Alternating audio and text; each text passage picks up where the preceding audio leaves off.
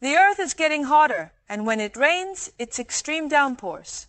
With unusual weather the norm, concerns about food security are rising.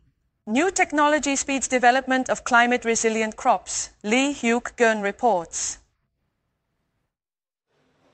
Rice seeds are placed on a blue sheet of paper.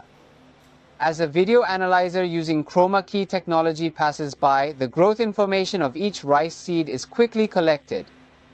It takes only one second to quantify 11 traits, including size, color, shape, and more. This task used to take five minutes when done by a person. The time necessary for crop development has been significantly reduced. With traditional breeding methods, the breeding period, which used to take around 10 years on average, can now be shortened by three to five years. The analysis accuracy is 97%, on par with advanced countries like the US or Europe.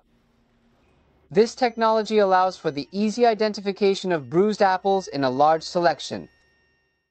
It also greatly reduces labor costs, and because it can sort fruits far more precisely than the human eye, its accuracy has increased significantly.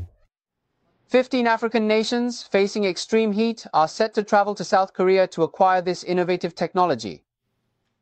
Given the urgent challenges of climate change, it is crucial to cultivate robust crop varieties that withstand frost and heat, ensuring survival in today's diverse agricultural conditions.